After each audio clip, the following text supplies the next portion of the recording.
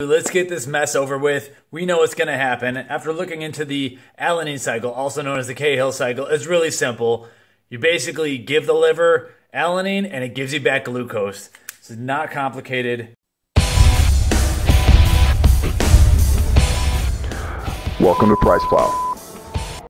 Hey everyone, this is Mike with Price Plow, and so previously on Price Plow, we saw that glycine lowered my blood ketone levels and spiked insulin two out of three times, and therefore I recommend that keto dieters stay away from it unless there's a good medical reason to, to use it. And so uh, the next thing up is that we are going to take L-alanine today and see if this does the same thing. The reason we're starting with glycine and alanine is because these are the two primary uh, amino acids in BPI Sports' is best uh, both their best BCAA supplement, but also their keto aminos. And I showed that the keto aminos knocked me out of ketosis three times. You know, I was above 0.5 and then I went below 0.5 after taking it, tried it with fasted training. It never worked. And I, the reason was because I believe that these uh, amino acids were glucogenic, especially glycine, which basically tastes like sugar. But we'll see about alanine as well. Unfortunately, I don't have a trusted NutraBio bottle for this because I don't think they sell it anymore. But um, Source Naturals is a very trusted brand. Got a brand new bottle right here. So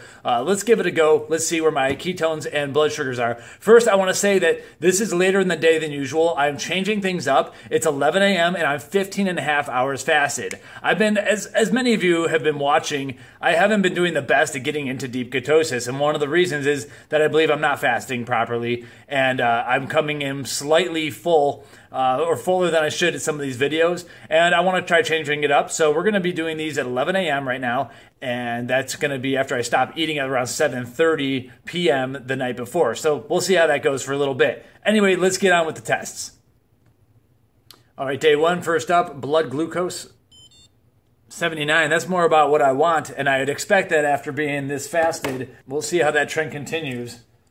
Over the course of time, you've kind of watched my blood glucose levels start to drop. I'm starting to finally figure this out. This is actually uh, taking me longer than it should have, but that's another video for another time. Ketone time.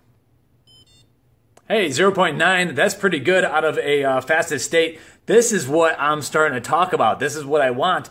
Uh, and so I think that the fasting might be what I'm going to need to get really better at being keto adapted. Anyway, you're not here to hear about that. You're here to find out if L-alanine is worth taking uh, if you're on a keto diet. Theoretically, the answer is no, but let's see what let's see what happens in my body at least.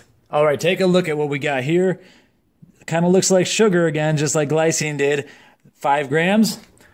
I have no idea how this is going to taste, but uh, we're going to find out right now. one day, some one of these things is going to make me vomit or something, cry. But this, look, I, I think it's going to be sweet because if BPI wouldn't have put it into their amino blend if it didn't taste good. Mm-hmm. Not as good as glycine. A little bit of staleness to it.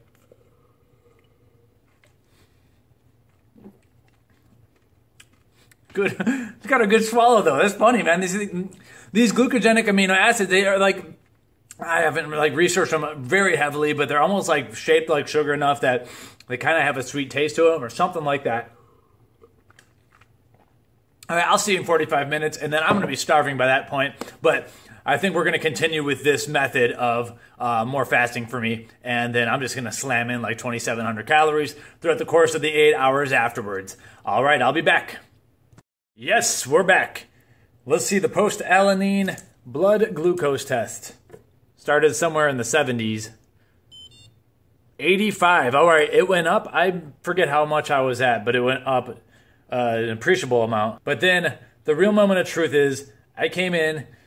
I'm now 16 hours fasted, a little bit over 16 hours fasted. My ketones were at 0.9. What happened after taking the alanine? Oh, look at that. All right, so I'm still in ketosis, but we've dropped 0.2 millimoles in just 45 minutes. Once again, why is this amino acid being added to a keto-based supplement? Why? All right, so um, we're gonna try again tomorrow. Most likely, the same kind of thing's gonna happen, but these are the sacrifices I'm making for you. At this point, um, I have been told to look into the alanine cycle. So maybe after this video, we'll explain what's going on a little bit in uh, general terms, or I'll find one of those really cool videos to link to. Uh, but until then, I'm fasted. I got a phone call in 15 minutes. I need to slam some food down right now. I will see you tomorrow because we're gonna do this again, and uh, I'll come in 16 hours fasted once again. All right, day two. Let's get this mess over with. We know what's going to happen. After looking into the alanine cycle, also known as the Cahill cycle, it's really simple. You basically give the liver alanine and it gives you back glucose. It's not complicated. Any company putting this ingredient into a keto based product should be ashamed of themselves. I'm kind of hangry right now, if you can't tell. Fasted about only 15 and a half hours. 73. All right, that's probably one of my lowest blood sugar levels to this point. So uh, the the fasting thing is definitely uh, working for me so far. But let's see where the ketones are at, and then we're gonna knock them down a couple points. All right, I'm stuck at 0.7. It's been like this for uh, a little bit, and uh, yeah, I had a couple carbs yesterday, but uh, doing these amino acids isn't isn't helping, but it's just how it's going to be. The question is, am I going to drop 0.2 and I'll stay barely in ketosis at, at 0.5, or am I going to drop more than 0.2 and uh, and this is going to knock me out of out of ketosis, which is exactly what BPI Sports' keto aminos that had this ingredient in it did. So uh, let me get a spoon ready to go. All right, there's my five grams worth of uh, the alanine Source Naturals. And as always, when this goes wrong, don't blame Source Naturals. They're doing exactly what we're telling to do. In fact, uh, let me just take this bite real quick and get this going.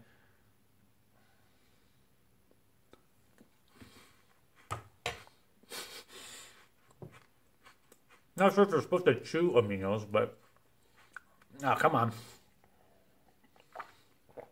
Not bad. Again, okay. So, what was I saying? Oh yeah, as usual, don't hate the player, hate the game. Source Naturals providing definitely what, what seems to be the alanine because of what happened yesterday or two days ago, actually. Uh, but hate the game, you know. Source just so you can't blame the company for giving an amino acid that I am telling it. In fact, that's the thing is, I basically let me check the time right now. Okay, I basically just programmed my body to produce glucose. If you look at it, what I, what we're doing when we eat certain foods is we're giving our bodies instructions. And as you as you start to lose more weight and you come and you become more in tune with your body, you're going to start noticing that it's really just a series of chain reactions that you control. You control by putting the food in your mouth. Now, it's tough when you're eating a whole food like a big salad or whatever, then, you know, obviously there's a lot of different stuff in there. But realize that when you're breaking it down to very, very core, basic uh, foods or single ingredient items such as alanine. What I just did is I am programming my body. I am instructing my body,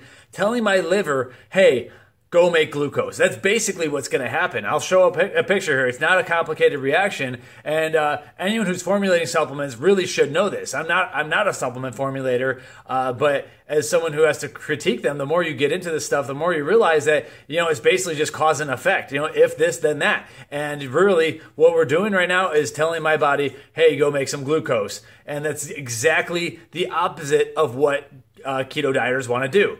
And so, again, you know, I, I, can't say it enough times. It's shameful that anyone trying to sell a keto supplement would put this in there. Uh, but Anyway, I take the sacrifice for you figuring this out, getting the reviews going, and seeing how at least my body responds. But hey, we all basically have the same kind of functioning liver. Uh, it just may happen more or less for other individuals, but it looks like with this amino acid, it's going to be detrimental for any keto dieter. And there, I might say any diabetic as well. Uh, but of course, you know, talk to your doctor and do more research if you are di- diabetic or have any type of medical issue. Anyway, that's enough for me. Let's be back in about 40, uh, yeah, 44 minutes at this point. See ya. Let's see where we're at. Blood glucose was at 73. 84 went up a little bit. Not terrible, but, and that's still a good score for me at least. Now ketones, above or below 0.5 right there at 0.5. So I went down 0.2 both times.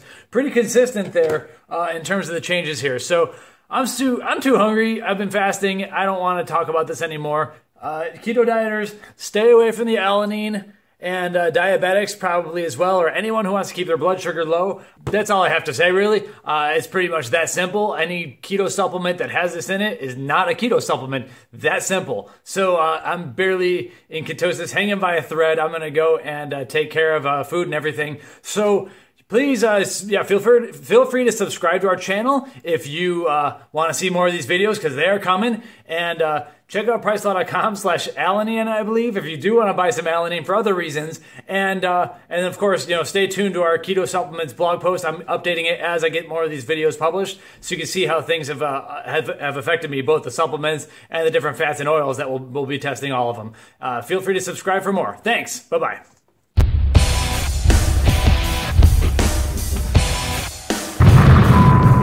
the things I do for you guys and gals.